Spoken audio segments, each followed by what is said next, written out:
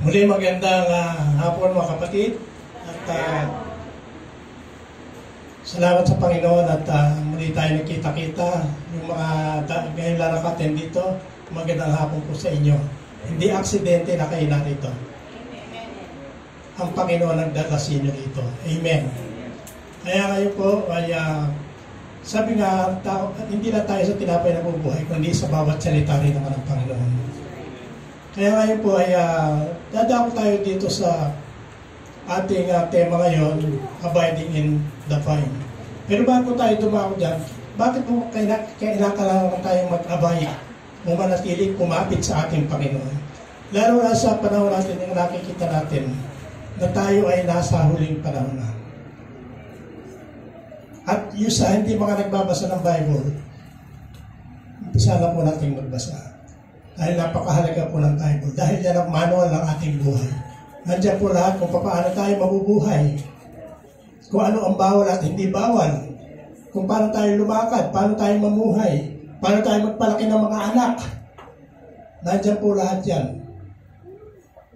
At ngayon po, sa mga huling panahon, na nararanasan natin ngayon, ay nasulat na rin, nakasulat na rin yan, lahat po yan.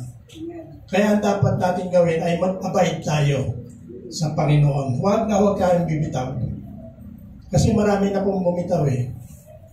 Actually, ako malapit yung uh, montik ng bumitaw.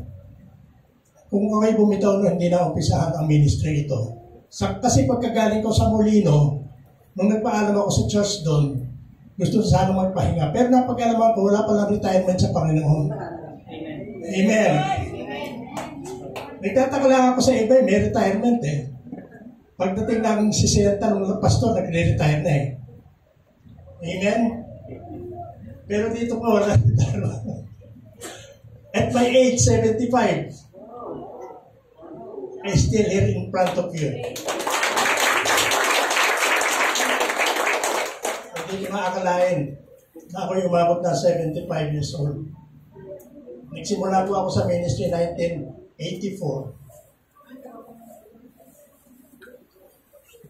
Hindi ko po malilimutan yun eh. Nung ipinanganak ko, 1948. Nung nakakilala ako sa Panginoon, 1984. Amen? So ngayon po ay uh, dadako tayo dito sa nais na pang na-edit pahatid sa atin ngayong hapon. Pero bago tayo dumako sa ating tema, katunayan po na tayo nasa huling panahon na. Napinig po ba yan? May po tayong babasahin ilang versikulo sa Bible. Dito po sa Mateo 24, 3 8, ang sabi, habang nakaupo sa Jesus sa puntok ng mga olibo, palihim siyang tinanong ng kanyang mga alagad, kailan po ba mangyayari ang mga sinabi ninyo? Ano po ba ang magiging palatandaan ng inyong muling pagparihoto at ang kat at ng katapusan ng mundo? ng mundo. So yan po, makikita natin yan. Tinatanong ko niya mga disipulo. Kaya sabi ng Panginoon, sumagot si Jesus, mag-ingat kayo upang hindi kayo mailigaw ni naman. Maraming paririto sa pangalan ko at magpapanggap na sila ang Kristo. Siguro na, kikita natin yan. At marami silang maliligaw. Maraming maniniwala. Amen. Makakarinig kayo ng mga labanan at makakabinata kayo digmaan sa iba't ibang dako. Ngunit huwag kayong bahala dahil dahil talagang mangyayari ang mga iyon bagamat hindi pa iyon ang katapusan ng mundo. Amen? So meron pong babala. Kaya sabi, kaya mag-ingat po tayo. Marami ngayon ang talagang nagpapanggap lang.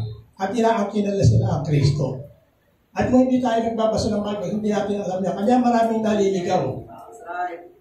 Lalo na yung preacher, yung pastor ay magaling magsalita. Mahusay sa English. Maganda ang diction. Maganda ang intonation madadala ang kongregasyon. Amen? Kaya ingat po tayo, kinakailangan po alam natin ang sinasabi ng Panginoon. Yung mga babala, At yan ka po ay nangyayari na sa panahon natin. Amen. Kaya sabi, ang sabi ro sa 8, ang lahat ng mga ito'y pasimula pa lamang ng mga paghihirap na tulad ng isang babaeng manganganak. Tulad na pa, nagdadalang tao, malapit na ipanganak. Ibig sabihin, malapit na mangyari. Amen? At meron pa, yung mga babala sa Bible, na paano ba natin malalaman kung sino ang tunay? Sa 2 Corinthians 2.17, ang sabi nito, hindi kami katulad ng marami, sabi ni Pablo, na kinakalakal ang salita ng Diyos. Sa halip bilang sugo ng Diyos, sa kanyang kaharapan at sa aming pakipag-isa kay Kristo, buong katapan, katapatan kaming nangangaral. Kinakalakal ginagawang negosyo, pinagkakakitaan ang salita ng Diyos. Marami. Kung nakakapanood kayo sa YouTube, ini-expose na kung sino yung mga yan. Amen? At doon sa 17, ang sabi, Ipinangangaral ko sa inyo ang magandang balita, ngunit hindi ako humihingi ng kabayaran Ako'y nagpapakababa upang maitaas kayo. Masasabi bang kasalanan ang ginagawa kong ito? Amen. Nagpapabayad. Hindi ko itinataas ang aming mga sarili. Lahat po ng worker dito, volunteer. Hindi po kami bayaran. Kaya sabi ng Panginoon, tinanggap nyo ng walang bayad, ibahagi nyo ng walang bayad. Hindi po pwedeng pagkakitaan ang salita ng Panginoon. Pero i-bless ka. Amen. Hindi tayo kalilimutan ng Panginoon. Basta tapat lang tayo na naglilingkod sa Kanya. Amen. Ang katuwiran ko po dyan kasi, nung araw na nagtatrabaho ko, may sweldo ko sa kumpanya. Hindi ako pinababayan ng kumpanya. Eh ngayon pa kaya, nagsiserve ako kay Lord, mababayaan man niya ako. I-bless ka, matapat ka lang maglingkod sa Panginoon. Huwag ka lang reklamad, reklamador. At yung totoo lang ang iyong hinahayag. Amen? Yun po, at sa 2 Peter 2, ang sabi nito, Noong may mga huwad na propeta lumitaw sa Israel. Gayon din naman, may darating sa gitna ninyo ng mga huwad na guro Lihim silang magtuturo ng mga maling aral na ang dulot ay kapahamakan. Pati ang Panginoon, tumubos sa kanila ay kanilang itatakwil. Kaya din natatagal at sila'y mapapahaba. At marami silang mahigaya at susunod sa kanilang mahalay. At, at dahil dito, pati ang daan ng katotohanan ay malalapastaran. Marami po yan. Ingat tayo. Hindi lahat na nangangaral ay sa Panginoon. Yung tinatawag natin twisted. Walang pinangarap kundi puro prosperity. Healing. Hindi, sa hindi sila naniniwala sa gamot, hindi naniniwala sa doktor. Eh bakit may disipulo doktor? Di ba? Si Luke, doktor yan. Amen. So hindi sila naniniwala. Pagka sinabi mo, masakit itong ganito, sabi, ang hina ng iyong faith. Amen? So, yun po ang mga tinatawag nating mga bulaang guro, mga, mga bulaang propeta. Nasa, marami po po yan, palatandaan na yan. Napakarami nila. Karamihan sa kanila ay multimillionaire. May mga sariling jet plane. Kung ilan yung kotse nila, mansion ng bahay. At yung mga member nila, talaga lahat, kinakalanta worker. Kaya iba, kung ano-ano tinitinda, umaakit sa bus, nangangaral sa palengke. So kaya ingat po tayo, hindi nga po lahat, mas marami yung mga hindi tunay. Dahil ginagawa lang ng negosyo, ang salita ng Diyos, pinagkakakitaan. Amen? Kasi po, karamihan, hindi naman nila lahat, karamihan dyan. Kasi, pagka ang pastor, mga degree holder, magaling. Hindi katulad namin ni Pastor Tim. High school lang kami. Amen. Umaasa lang kami sa turo ng banal na Espiritu. Amen. So yun po, hindi na kukuha sa talino yan. Sabi nga, talino lang sa libutan ay kamangmangan sa harap ng Diyos. Amen. Kaya dapat matalino tayo. Ano, paano tayo kakaroon talino? Sa pamamagitan ng pag-aaral ng salita ng Diyos. Importante, mahalaga po ito, ang salita ng Diyos. Kung kumakain tayo sa ating katawang laman, pakainin natin ang ating katawan, ang espiritu. Araw-araw po yan. May oras tayo sa Panginoon. May oras tayong manalangin. May oras tayong pag-meditate. Amen? So, makita natin, ilan lang yan sa binasa natin na palatandaan na malapit na ang pagbabalik ng Panginoon. Amen. Walang nakakaalam. Ang Ama lang nakakaalam. Ultimo si Jesus Christ, hindi niya alam. Ang Ama natin sa langit ang siyang nakakaalam lang kung kailan siya pabababain muli ng Panginoon. Amen? Para tubusin lahat ng nasa sa Kanya. Lahat ng sumunod. Lahat ng naniwala. Amen? Excuse me po. Medyo kinakamos po ako.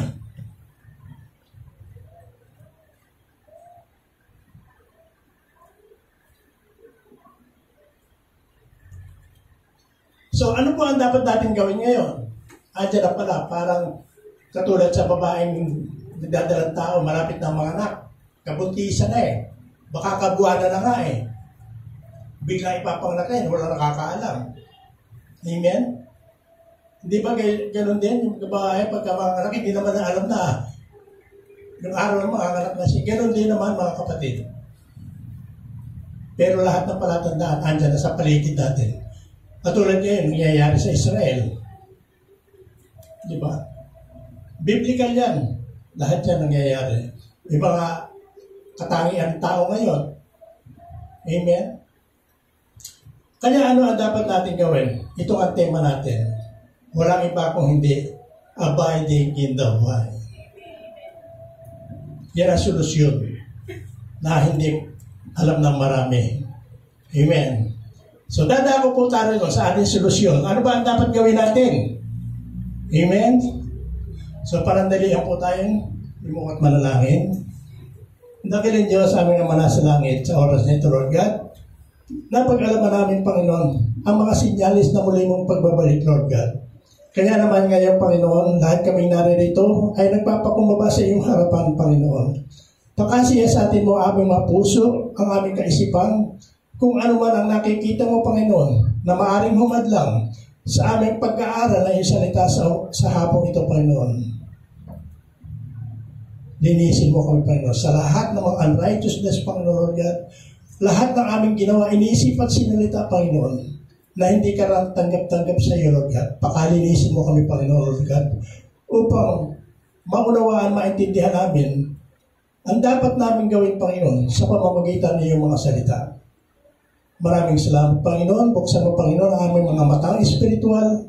Nais ka naming makita, Panginoon, ang aming mga tainga, Panginoon. At hipuin mo aming mga puso. Lahat ng aming matinig, Panginoon, ito yung matanim na malalim sa aming mga puso.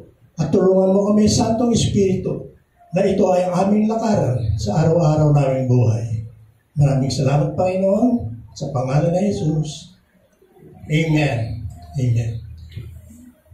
So dito makikita natin, ito yung paraan para tayo makatiyak ng ating kaligtasan sa mga panahon ito. Ang sabi rito, sa Tagalog ko nga pinaprint, ang sabi, ako ang tunay na puno ng ubas at ang aking ama ang taga tagapag-alaga.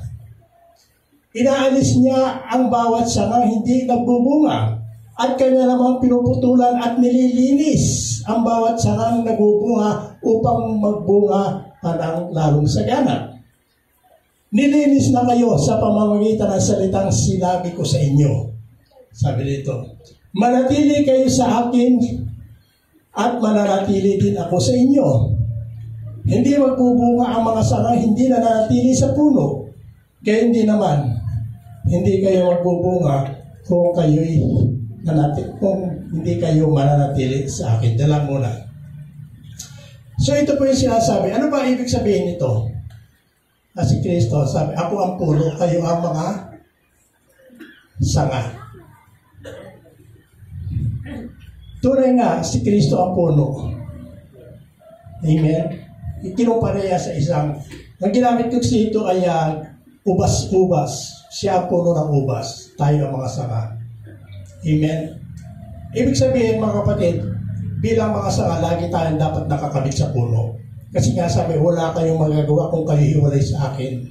Lalo sa panahon ngayon, nakikita natin na malapit na siyang bumalik. Ang isasama lang niya ay yung hindi bumitaw sa kanya. Mas maganda sa English yan eh. Abide at sabi. Amen?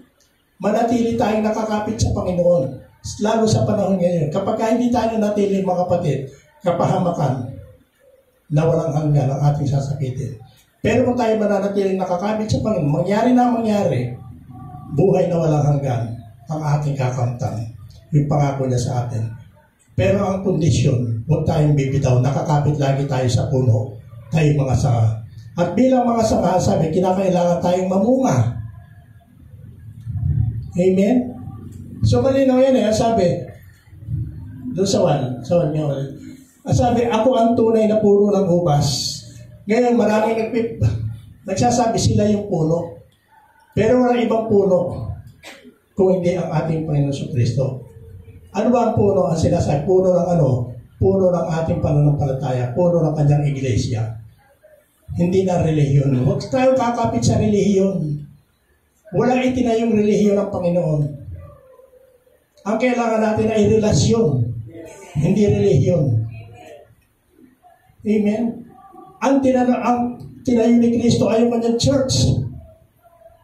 Yung kanyang iglesia. Ano ba yung iglesia? Ano ba yung church? Church is not the building. We are the church. Ang iglesia is a group of people come together to hear from the word of God, from the, from the Lord. To praise Him, to worship Him, to hear His voice. Kaya kahit ikaw nasa ilalim ng puno, nagsama-sama kayo, yun ang church. Hindi yung building. Amen. Kaya, mahal sa, pagkaling ko, sa, saan ka pupunta? Sisimba. Ano yung simbahan? Saan galing yung simbahan na the word simbahan? Hmm? Amen.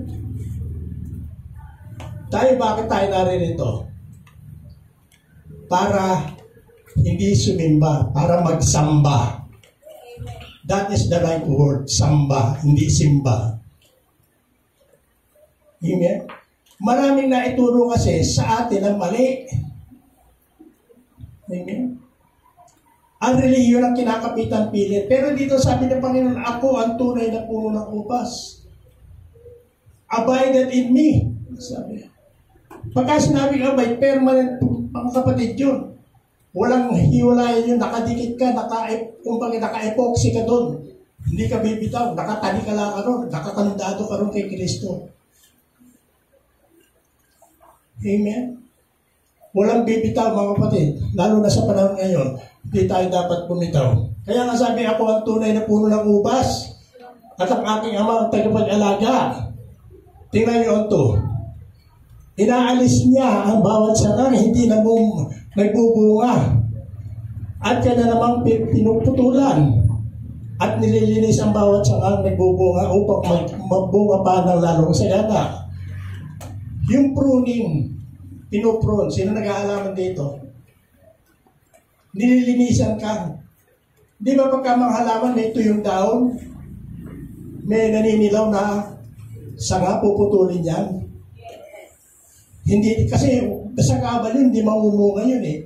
Pinuputol para lalong sumagana, lalong magbunga. Amen? So yun po mga kapatid, kinakailan tayo ay tunay na magbunga. Kanya sabi, inaalis niya ang bawat sanga hindi na nagbubunga at kanya namang pinuputulan at nililinis ang sangang nagbubunga upang magbunga ng lalong sagana. Verse 3, sabi, nilinis na kayo. Nilinis na kayo. Sino? Tayo. Tayo yung mga tunay na Kristiyano, born again Christian. Ay sabi, nilinis na kayo sa pamamagitan ng salitang sinabi ko sa inyo.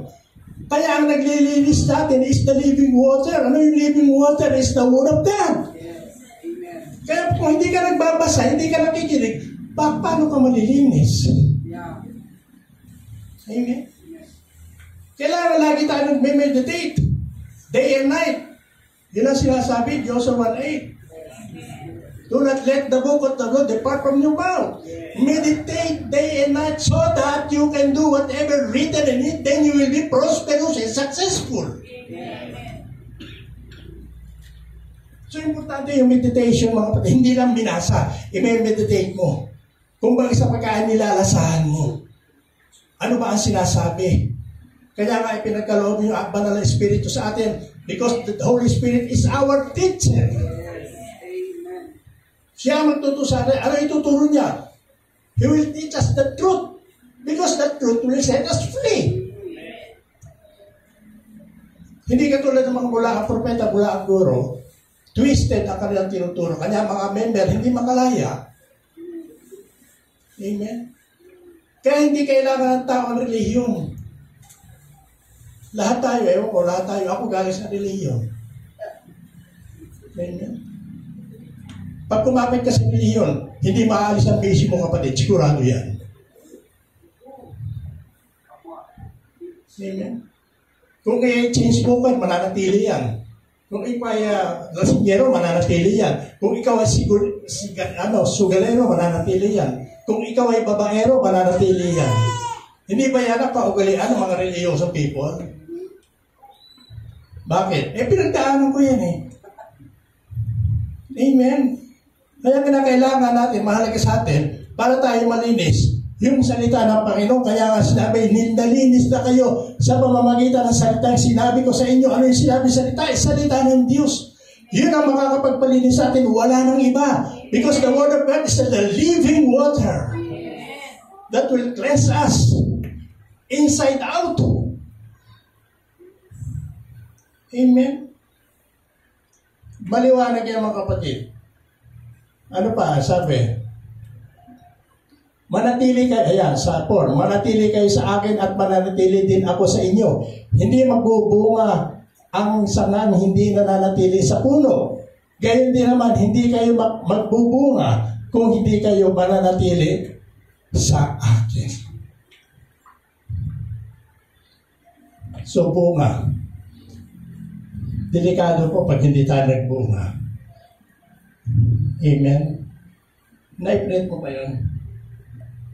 Doon sa Matthew 15, 13 and 14, sabi,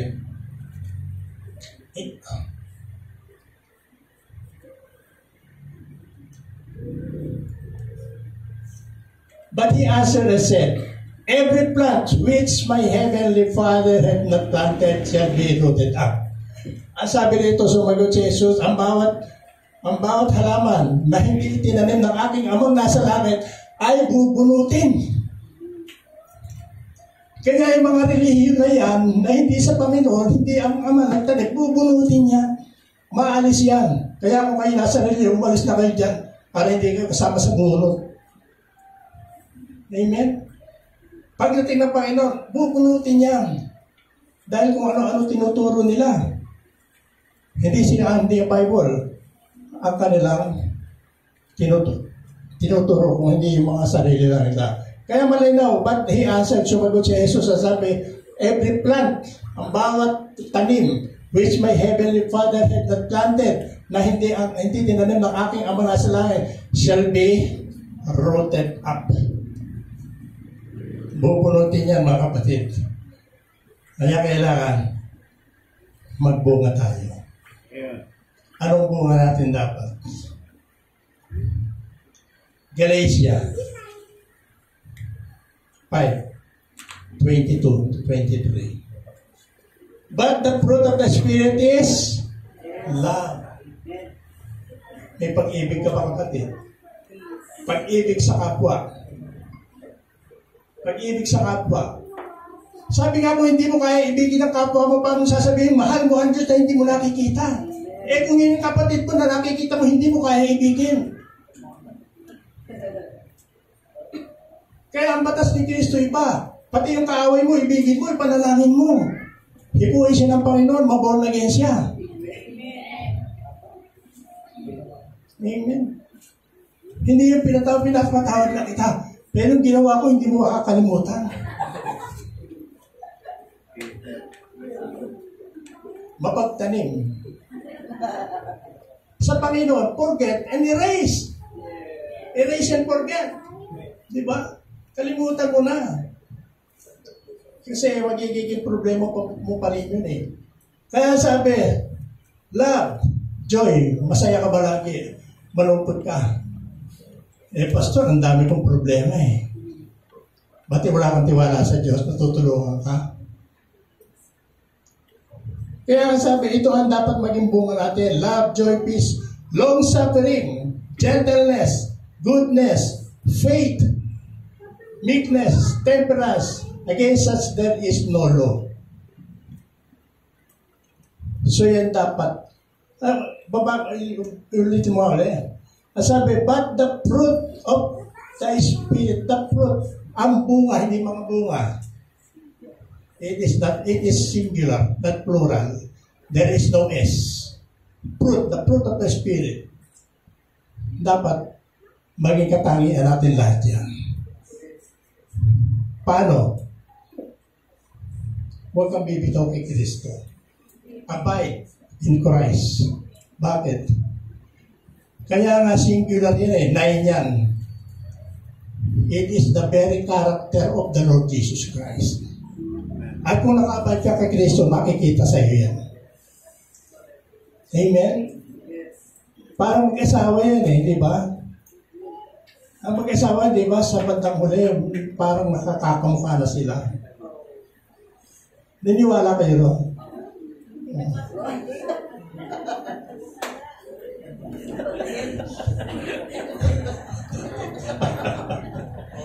Tingnan niyo, ako, ay misis ko, ayan, we are now 54 years married. Di ba medyo may similarity kami? Amen? So, ganun nga mga kapatid. Kaya kailangan nakabay tayo kay Kristo. Lalabas sa atin yung kanya, magre-reflect sa atin yung kanya katangian. Yung siyam na yun, iisang bunga, magre-reflect sa atin dahil nakakamit tayo. Kung hindi tayo nakakamit, wala kang bunga. Amen? At kapag ka hindi ka namunga, ano mangyayari? Doon sa Matthew, Matthew 21, 18 and 19. Ang sabi, Now in the morning, he returned into the city. He hungered. Ayan si Kristo, pabalik sa Diyos, nagutom siya. Ang when he saw a fig tree in the way, he came to it and and found nothing thereon, but leaves only, and said unto it, Let it the fruit grow, no, this henceforward forever. And presently, the fig tree withered away. Pasensya na po, medyo buugay yung pustiso. Hindi ko nalagyan ng pandikit eh. So, ibig sabihin, mga kapatid, pabalik si Kristo. Nagutom siya. Nakita niya yung fig tree. Lumapit siya. Puro dahon, walang bunga. Anong ginawa? Sinumpan niya. Amen? Nais ng Panginoon magbunga tayo. Bakit kailangan tayo magbunga? Dahil ang Diyos gutom na gutom na. Si Kristo gutom na gutom na. Sa pag-ibig natin. Sa pagsiserve natin sa Kanya. Yun ang kinagugutom ng Panginoon. Kaya busugin natin ang Panginoon. Kung paano tayo pinagbubusog sa pagmamahal ng Panginoon, busugin din natin ang ating Panginoon sa pagmamahal natin sa Kanya. Amen? Paano natin mapapakita sa Panginoong Jesus na tayo na tayo ay talagang mahal natin siya? Yung araw-araw, pagmulat pa lang na ating mata, siya ating uunahin. Amen. Pasalamat tayo agad. Sa lahat ng sandali. Amen. Huwag tayong makakalimot. Lagi tayo nakaabay sa ating Panginoon. Natin kalilimutan yan. Kailangan magbunga sa atin. Walang iba kundi ang bunga ng banal na Espiritu ay makita sa atin. Hindi naman bigla yan lahat. Unti-unti yan. Unti-unti. Katulad ng love. Anong klaseng love ang nais ng Panginoon makita sa atin? It's the perfect love. Ano ba perfect love? God's kind of love. Sino ka man, ano ka man, mahal kita. Hindi conditional. Mahal kita kasi mahal mo rin ako. Mahal kita kasi love with a reason. Ang ibig sabihin, I love you in spite of. Amen. Yun ang tunay na pag-ibig. Ano mong ginawa mo sa akin? Mahal pa rin kita. Dahil tayo, hindi tayo karapat dapat kanais-nais. Minahal tayo ng Panginoon. Paano pagmamahal ang pinakita sa atin? Binigay niya ang kanyang buhay. Amen. Kaya tumbasan natin ang pag-ibig ng Panginoon sa atin. Amen po ba? Tuloy natin. Ang sabi, anong verse na pa tayo? Five. Dos. Ako ang puno ng ubas at kayo ang mga sanga. Ang nananatili sa akin at ako sa kanya ay siyang nagbubunga ng sagana. So malinaw to.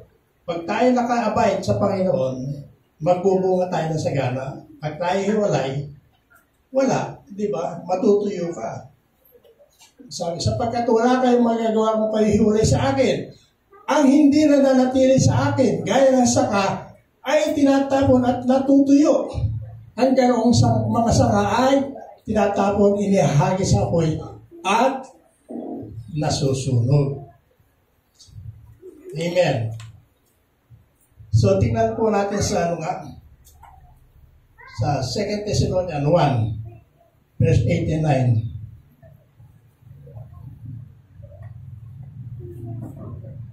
Second Thessalonians 1.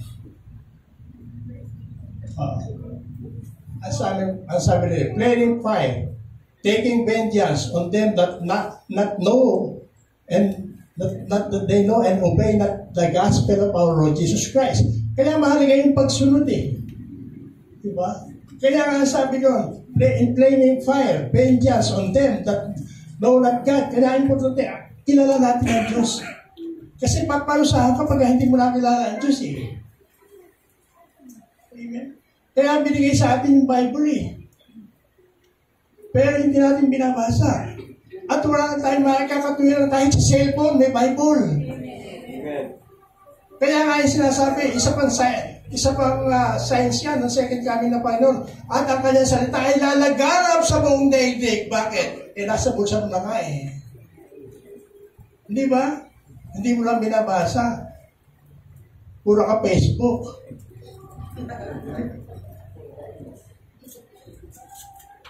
Alam niyo ba, isa rin yan eh. Sa huling panahon, ang sabi, lalago ang kaalaman. Eh, hindi ba yung cellphone? Hindi masama yan. Depende sa gumagamit. Yes. Amen?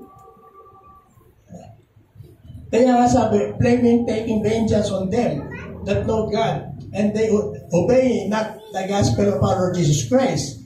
And nine, who shall be punished with everlasting destruction from the presence of the Lord and from the glory of His power. Parurusahan, lahat hindi ko milala, hindi sumunod. Wala tayong makakutiran. Panginoon, hindi ko alam eh. Amen. Ibig sabihin mga kapatid, magkano ang cellphone? magkano ang Bible.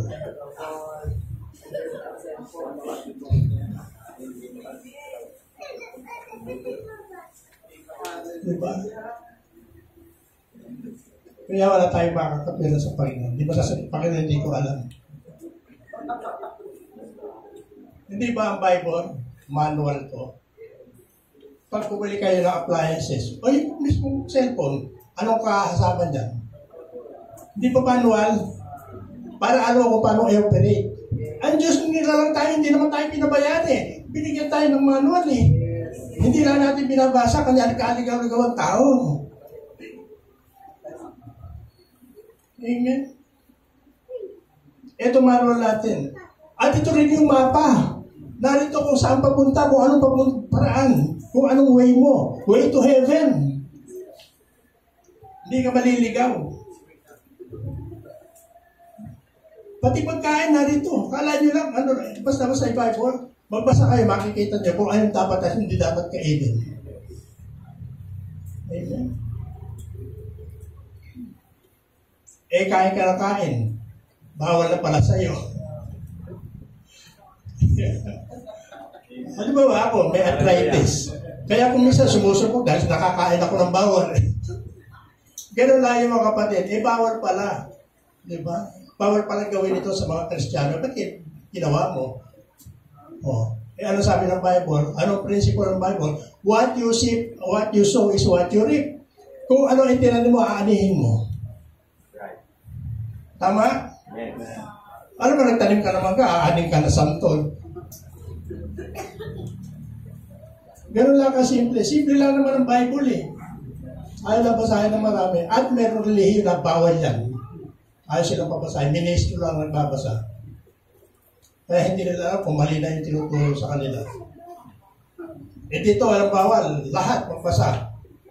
At kung kayo may nakita mali yung tinuro ko, sabihin nyo mali ang at nasusulat. Amen? Mahalaga kasi ng Bible, mga kapatid.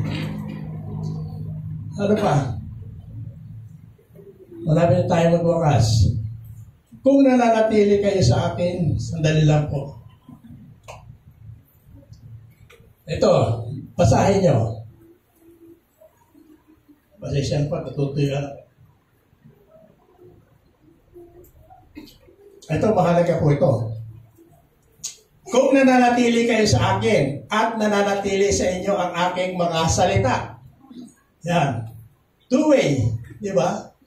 Manatili kayo sa akin, sabi ni Kristo. Manatili tayo sa kanyang salita, manatili sa atin. Sabi nito, kung nananatili kayo sa akin at nananatili sa inyo ang aking mga salita. Ano sabi?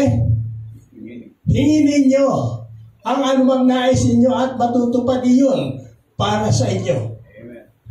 Amen. Eh ito, ma- maraming umaakti nito. eh. Ang sabi, di- ang sabi nito, hingin ninyo ang, ang, ang ano ang nais ninyo at pag, eh, patutupad. Sabi, pagkakalop sa atin. Pero hindi, hindi inunawa. Ano ba yung nasa unahan? Mag-abide ka muna. Eh, himalay ka eh. Di ba? Nakahimalay ka sa puno eh. Kaya nga sabi, kung mananatili kayo sa akin at mananatili sa inyo ang salita. Eh, wala kang mga alam sa salita eh. Puro ka salita.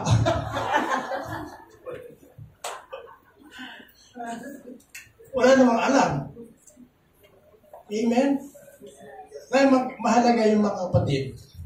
Alam natin to. Hindi inaakin eh. Ay, sabi dun eh. Ano man ang hilingin ko, pagkakalob sa akin eh.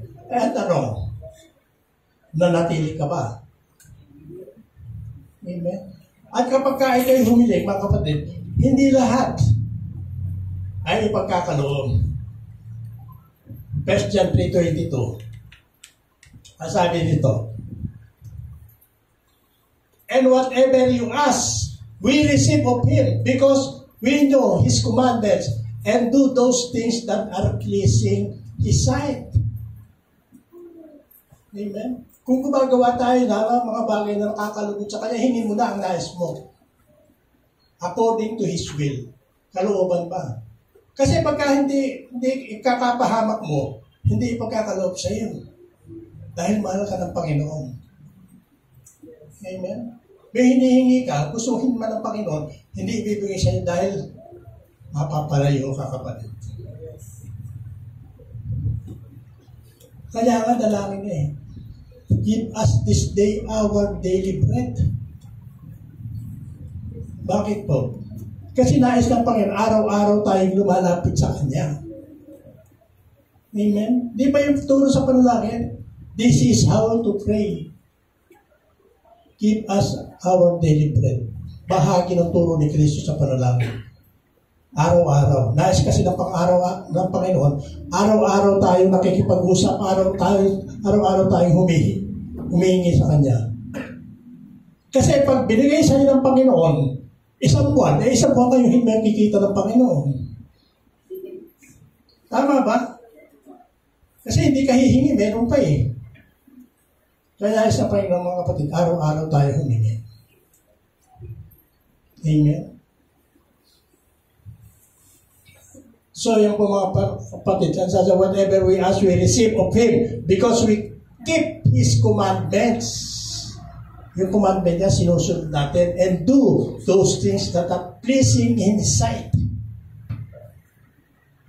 Amen. Hindi naman lahat bibigay sa atin eh. Yung anak mo, humihingi kutsilyo, bibigyan mo. Papahamak niya yun. Amen. Okay, balik tayo sa dyan. Ang chat ka. First tayo. Siguro hindi natin matatapos to.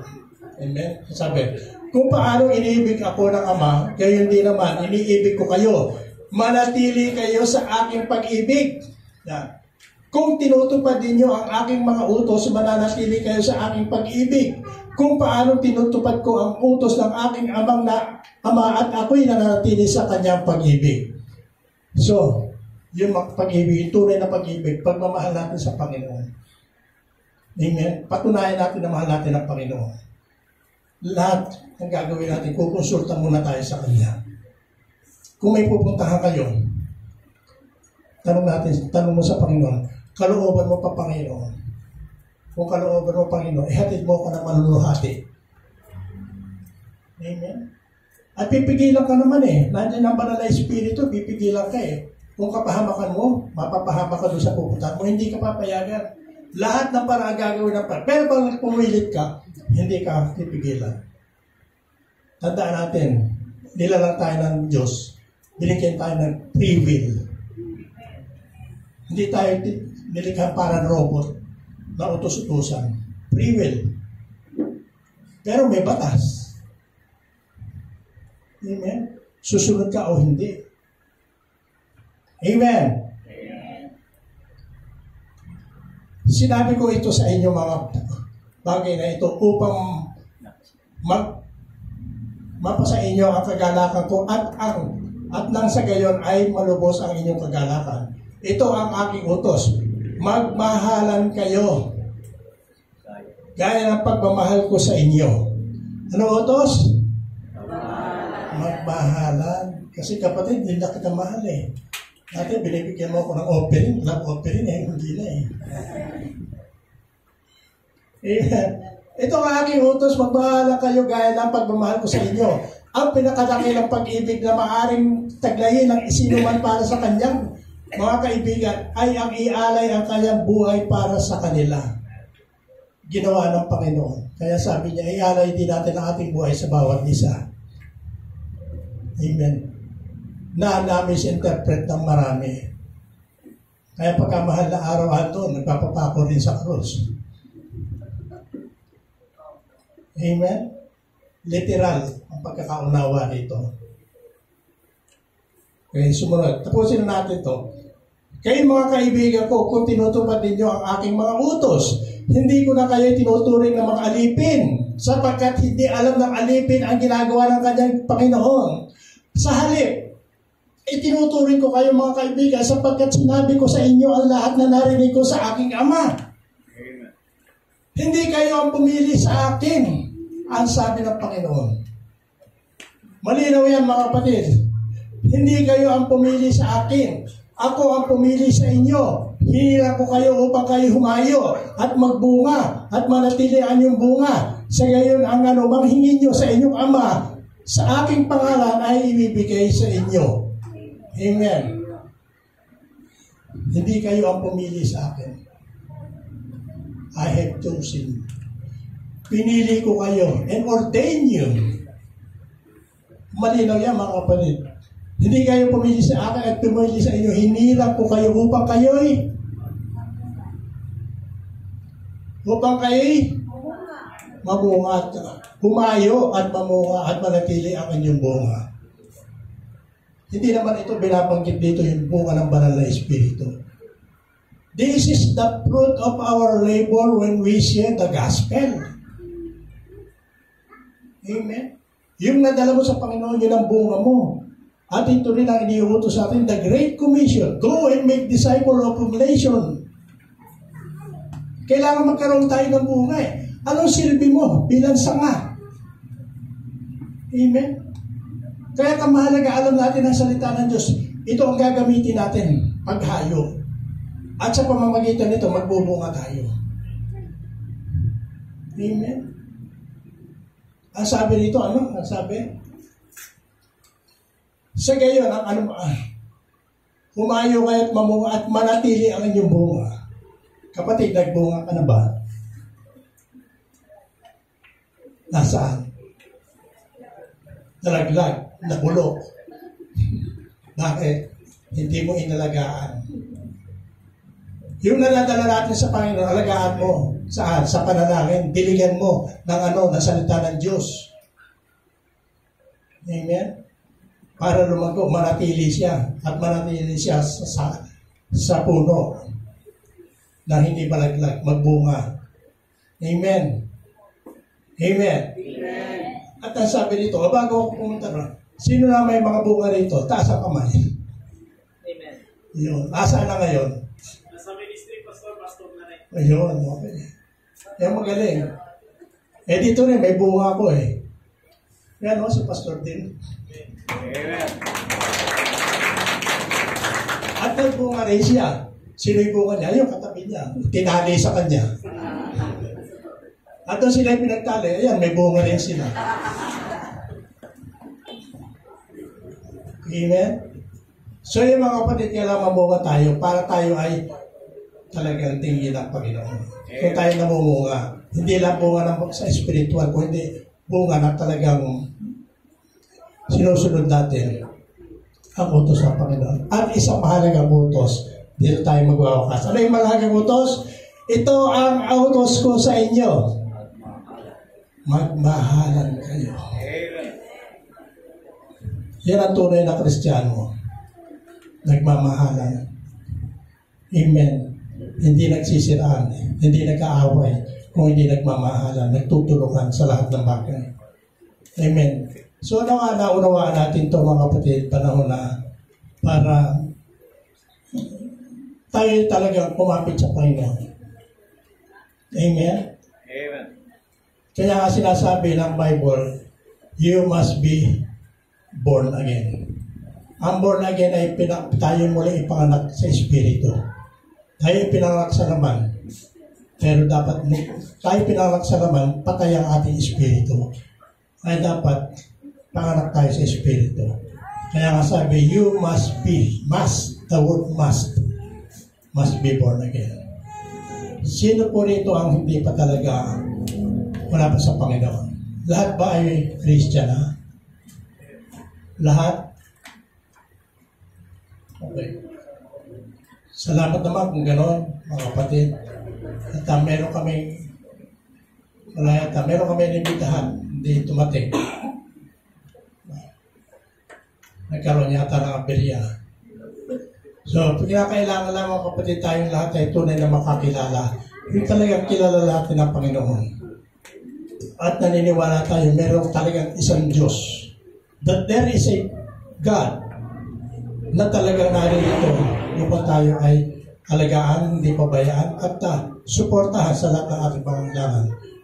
Pero ang, ang katapat noon ay manatili tayo sa Panginoon. Amen? Yung pananatili tayo. Huwag tayong bibitaw mga kapatid. Pag-isip pa lang sa umaga, ando na. Unahin natin siya, panalangin, manalangin agad tayo. At bago tayo matulog, magpasalamat tayo. At bago tayo lumabas ang pintuan, kung humingi tayo ng gabay patnubay sa Panginoon. Kasi kung tayo bibitaw sa Panginoon, sabi, apart from me, you can do nothing. Wala talaga tayong magagawa kung tayo hiwalay sa Panginoon. Amen. So, kung lahat ay Kristiyano na, ay uh, manalangin po tayo, tumayo po tayo. Hallelujah. Thank you, Lord. Thank you, Jesus. Panginoon, sa oras nito, Panginoon, salamat sa iyong mga salita na aming pinagsalusaluhan, Panginoon, ngayong hapon, Lord God. Nawa, Panginoon, ito'y tumimo, Panginoon, sa aming mga puso at magkaroon ng kapangyarihan na siya tunay na magbabago sa aming mga buhay, Panginoon. At Panginoon, kung kami man ay hiya, open on, Panginoon, sa aming relasyon sa iyo, Lord God, by this time, Panginoon, na narinig ko ang iyong mga salita na dapat kami, Panginoon, ay manatili sa iyo, Panginoon. Manatili kami nakakabit bilang mga saka, Panginoon, at ikaw ang tunay na puno ng ubas, Panginoon. Panginoon, huwag mo kami pabayaan na mawalay sa iyo, Lord God. Sa pagtunay nga, wala kami magagawa kung kami hiwalay sa iyo, Panginoon, Lord God.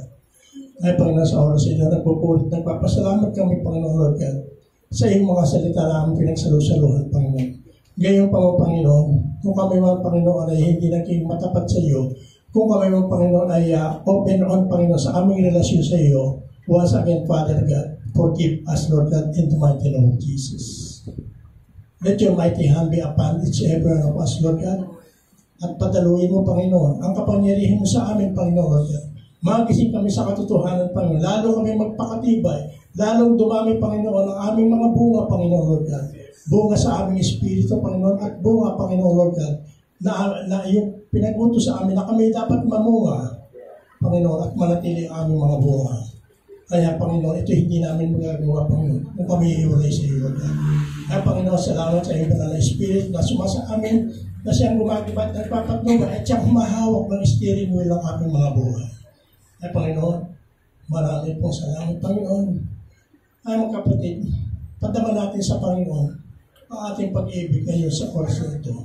Padama natin sa pamamagitan ng isang awitin na mula sa ating mga puso. Hallelujah. Hallelujah. Umawi tayo sa Panginoon. Hallelujah.